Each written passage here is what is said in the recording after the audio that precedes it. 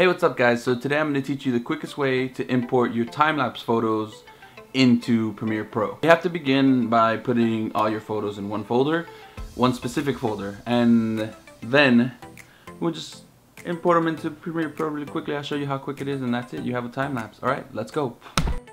So the first thing you're going to do is go to File, you're going to go to Import, or you can press Control I, and I already have it here, which is the sunrise thing that I'm going to do.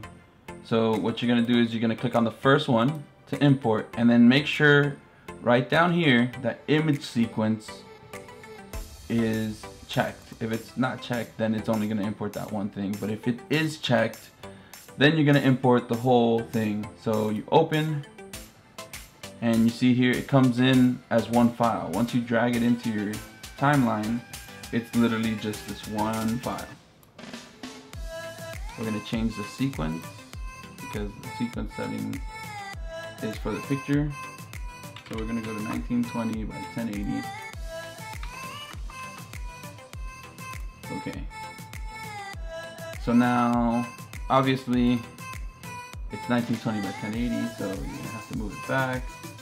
I'd say right around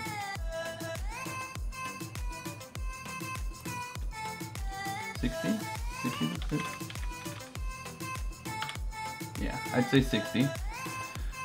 And now what I'm gonna do is I'm gonna start from a zoomed in position. So 60 is the best. Let's move that all the way to the end. Put, click the, the stopwatch at scale. I'm gonna move it all the way to the end. And then here I'm going to zoom in right around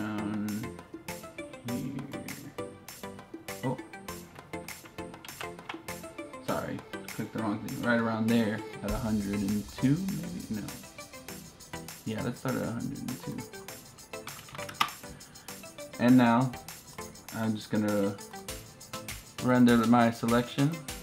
There you go. You can obviously speed it up or slow it down and do all that stuff to it in post. But uh, that's the quickest way to import your time lapses into Premiere Pro.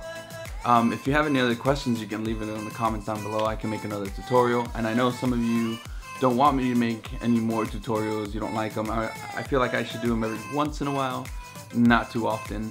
But uh, yeah, other than that, like subscribe, like, comment if you really like the video. And uh, I'll see you next time. Later. There's ducks outside. I'm so distracted.